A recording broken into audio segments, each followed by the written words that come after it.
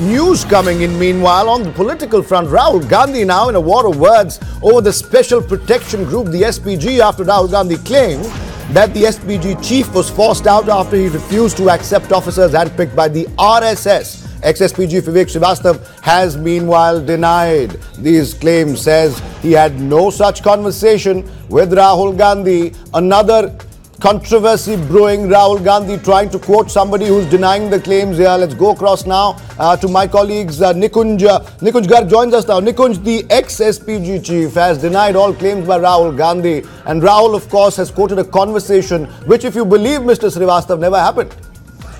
Well, uh, Athar, I'll tell you something. I know I have known Mr. Vivek Srivastava for close to 17 years now. And uh, Vivek Srivastava is a thoroughly professional and uh, uh, a business-like man. Uh, he, I have never had any conversation where he was given to any sentiment or emotion or any kind of uh, uh, professional uh, issues being discussed in the public domain. Of course, his discussions with me also would be discussions with the journalists. So I was quite surprised and shocked when I first listened to Mr. Gandhi's statement. I have known Vivek Srivastava from the time he used to be SP Bhuj when I was covering Gujarat earthquake in 2001. Now, uh, uh, so I was quite surprised and shocked, but uh, it, now that the government is clarifying, quoting Mr. Vivek Srivastava, I am not at all shocked because this is the, uh, you know, original traditional Vivek Srivastava that we have all known. And in fact, when he uh, left the job of the SPG chief, uh, I interacted with him post that also on multiple occasions. On multiple occasions, once he joined, he is presently with Intelligence Bureau as their additional director in based out of Patna, and then he returned to Delhi. From from Delhi, he was sent back to Patna after relinquishing his charge to uh, uh charge of SPG. So I've had detailed conversations with him about uh, you know the SPG and uh, uh, his stint at SPG, which was short-lived right. for sure. I mean, there's no denying the fact that the stint was short-lived, but never ever did he mention this fact about RSS trying to stuff Special Protection Group with officers of its own choice. And I also have a very bigger point to make here, Athar. Uh, can anybody explain to me from Congress party, right from its president to the uh, uh party down below, why was Mr. Rajiv Pratap Rudy's brother SP Singh, Sudhir Pratap Singh, shunted out of CBI when he was due for a promotion and he was refused a promotion inside the CBI and told that he will get his promotion only if he quits CBI? Why was Kirti Azad's elder brother Yashovardhan Azad not made Director Intelligence Bureau despite having unimpeachable integrity, merit and competence uh, and Asif Ibrahim, his junior, given the charge. Why were, uh, Mr. Madan Lal Sharma refused to be made by Director uh, Central Bureau of Investigation in favor of a known Congress party acolyte and uh, somebody who was close to Ten Janpath, Mr. Ashwini Kumar? My question is that if the Congress party cannot justify its own conduct with regard to the government officers, particularly the senior Indian Administrative Service and Police Service officers, can it today charge the Rashtriya Swayam Sevak Sangh or the Bharatiya Janata Party right. of selectively stay on with us. We're going to get you live now in just a second. Give me a second here just to recap the story here. What Nikunj is pointing out, of course, is the fact that this man, Vivek Srivastava, has uh, an unimpeachable record. He's never mentioned uh, any such conversation that happened. And now there's a formal denial of what Rahul Gandhi is suggesting. Remember, these charges are very serious. What Rahul Gandhi is saying, if he doesn't have proof to back it up, he'll have to eat his own words. He said says, Rahul Gandhi does, that at one point in time, then SPG chief Vivek Srivastava was perhaps shunted out because he refused to take in RSS picked or anointed SPG officers. This is a very serious charge. SPG is one of the most professional forces or task forces that the Indian armed forces have, and they, of course, protect VIPs. But what Rahul Gandhi is saying amounts to a very serious allegation, which, by the way, has been denied, not just by Vivek Srivastava, but also by the government. This is uh, what we have right now. We'll get Nikunj live in just a bit. Uh, we understand that Rahul Gandhi's charges, uh, in fact, have been allegations, have been completely denied by Vivek Srivastava as well as the government formally. And they say never did a conversation like that ever happen live.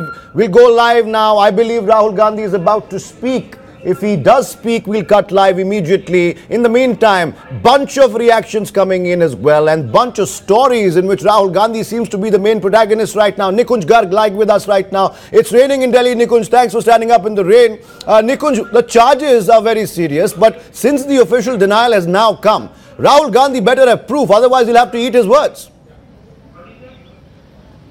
Well, absolutely. And I have been saying right from the word go that uh, Mr. Gandhi uh, make, bringing in the reputation of uh, a very, as I said, thoroughly professional, a mild-mannered man whom I have known for well over a decade and a half now, close to 17 years I have known Vivek Srivastava. As I said, I was quite shocked and surprised Rahul Gandhi uh, quoting Vivek Srivastava and I said, as I also said, Athar, that I have spoken, I have had multiple con conversations with Mr. Vivek Srivastava post his stint as the director SPG2. Now, uh, never in those conversations did he ever mention any uh, any sort of animosity or acrimonious exit from the SPG. He joined the intelligence bureau in his home state of Patna. Uh, he was, uh, you know, he was at that point of time keen to go back to Patna because of some family obligations, he told me. And on multiple occasions post that, we've had conversations. And I will revert to my original point once again.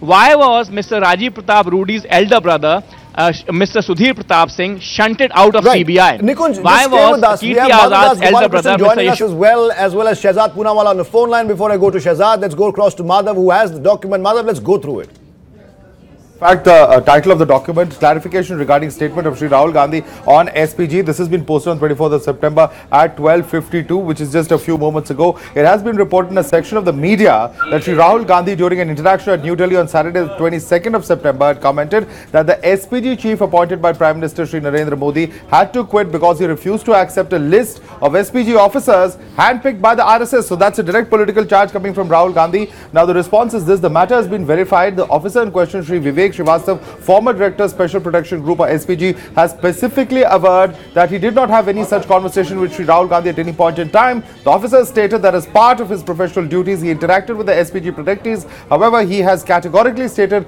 that during his interaction with Sri Gandhi, there was no talk whatsoever, no talk. This is the most important point whatsoever regarding the appointment of a new director or the reasons for his leaving SPG. So this is, of course, a very huge uh, clarification in direct contravention of what Rahul Gandhi Gandhi is saying and going on to say that SPG is a professional organization which takes its task of protecting serving prime ministers, former prime ministers and their families entrusted to its security very seriously and in the highest professional spirit. The comment reportedly made by Sri Gandhi through the media is baseless, devoid of fact and unfortunate coming from an SPG protectee. So this of course uh, could be a hugely embarrassing situation for Rahul Gandhi right. unless he's able to actually substantiate the claims as Nikunj was telling us a short while earlier of exactly what he has claimed regarding this conversation with Mr. Srivastava. Clearly, of course, it would seem that this is just a political point scoring that has been done at this point of time, right. given the fact that this clarification is formally now coming from the government. Athar. All right, Madhav, stay on. Shehzad Poonawalla also with us on the phone line. Shehzad, uh, now that the official denial has come from the government saying there was never any such conversation that Rahul Gandhi is speaking about, what do you have to say about this? I think this is not the first time Rahul Gandhi has been caught lying. You remember he had quoted something about the French president, Mr. Macron, telling him something about the Rafale deal, and immediately in Parliament that he had lied about it, and there was a clarification from Mr. Macron's office. And I think that whether it is uh, you know to score political brownie points or to make an accusation of Mr. Modi's government, I think Rahul Gandhi does not uh, hide away from using lies. I think he's been exposed over and over again, including on the Bolan statement. So how can one trust Rahul Gandhi? He has zero credibility.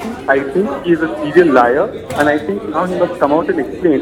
And I, I think he should even apologize to the country for making these false claims. Uh, the Congress, of course, can always claim, Shehzad, that the denial is easy, it's convenient, it's coming at a time when uh, there are many attacks on the government and the RSS. How would you respond to that, hypothetically, if that response came? No, if they have the proof, see, the burden of proof is on the accuser. If Rahul Gandhi has the proof, he must now contradict the statement that has come out. He must contradict the officer concerned who's come out and he specifically averred that he had no such conversations with Rahul Gandhi at any point of time. Okay. He must give the proof. And if he can't give the proof, on Rafale, he doesn't give any proof. On this, he does not give any proof. On the France conversation with Macron, he gives no proof. Okay. He's always caught lying. And I think when you lie okay, so much, interesting, very interesting. Stay with us. Stay with us. We also have our Rajagopalan, senior journalist, joining joining us now on the story. Uh, Rajagopalan, uh, the official denial coming in from the MHA, the Ministry of Home Affairs, saying never did any such conversation take place between Mr. Srivastava and Mr. Rahul Gandhi. Your comments on this? It's a great sad day for Rahul Gandhi because one after another, every clarification or denial is coming. Rahul Gandhi has become a motor mouth. A, a political party of 135 years old party, the leader should not be doing this type of gimmickry politics because he goes and hugs the Prime Minister and winks. Now today he has said about SPG officer, RSS is full of uh, SPG vagara.